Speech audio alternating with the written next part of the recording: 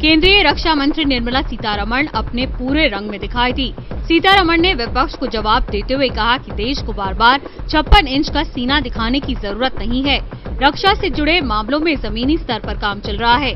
Border पर cease fire उल्लंघन के कुछ मामले सामने आ रहे हैं। आतंकी घटनाएँ हुई हैं। ऐसे सभी संबंधित मामलों को लेकर रक्षा मंत्रालय गंभीर है। आतंकियों को फिनिश करना, एकदम एलिमिनेट करना उस तक भी काम सफलतापूर्ण तरीके से हो रही है। इसलिए हाँ हो रही है संगत घटना हो रही है।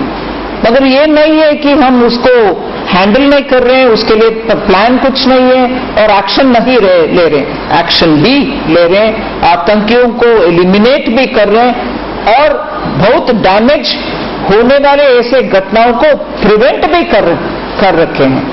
इसलिए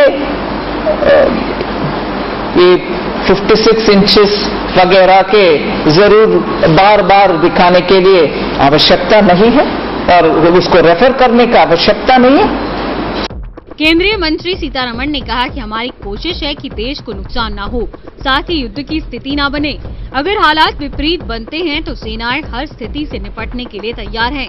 रक्षा मंत्री ने यहाँ ग्वालियर एयरफोर्स स्टेशन का निरीक्षण किया। इस दौरान साथ ही सुखोई, मिराज, मिग 21 और जगवा जैसे फाइटर विमानों के बारे में बारीकी से जानकारी ली।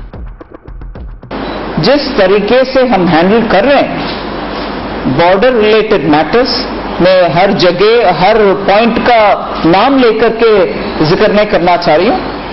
एक कॉम्प्रिहेंसिव तरीके से डील कर रहे हैं, जिससे देश को नुकसान ना हो। शांति और सद्भावना के साथ हम चलें। युद्ध के रास्ते में नहीं चल रहे, मगर ये बोलते हुए ही मैं ये ऐड करूँगी। हर सिचुएशन के लिए हमारी सैनिक तैयार है आर्मी पूरे प्रिपेयर्ड है, और हम हमारी देश की रक्षा बलबूते से करेंगे।